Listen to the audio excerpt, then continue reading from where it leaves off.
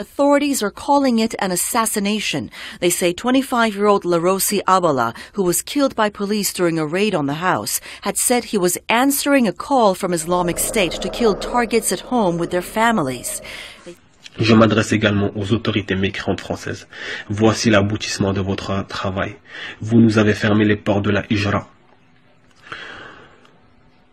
Vous nous avez fermé les portes vers les terres du Khilafa. Eh bien, nous ouvrons les portes du djihad sur, votre territoire. Pensez-vous que nous allons rester inattentifs? Ben, mettez-vous le doigt dans l'œil. On vous réserve d'autres surprises. Pour l'euro, je vous en dis pas plus.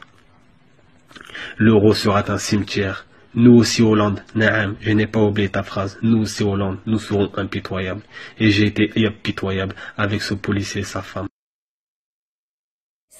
They said he kept a list of potential targets, including the names of rappers, journalists, police officers, and other public figures.